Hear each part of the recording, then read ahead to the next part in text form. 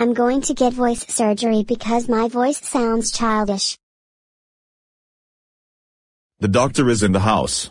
My name is Dr. Charlie the Anteater, and I'll be your doctor for this voice surgery.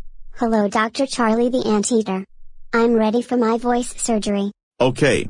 But before I give you the voice surgery, what voice do you want? Serena. Alright.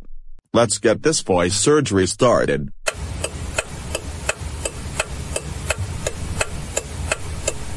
All done. Now say something. Hi. I'm Serena.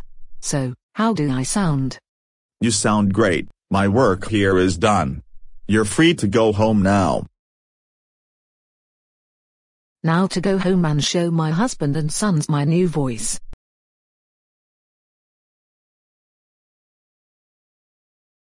Hey guys. I am back from the doctor. Come take a look at my new voice.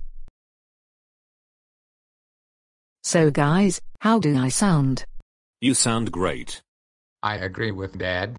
Well, uh, I prefer your old voice, because I liked your old voice better. You prefer my old voice? Huh? Well, I understand, but the old voices should not always be here forever.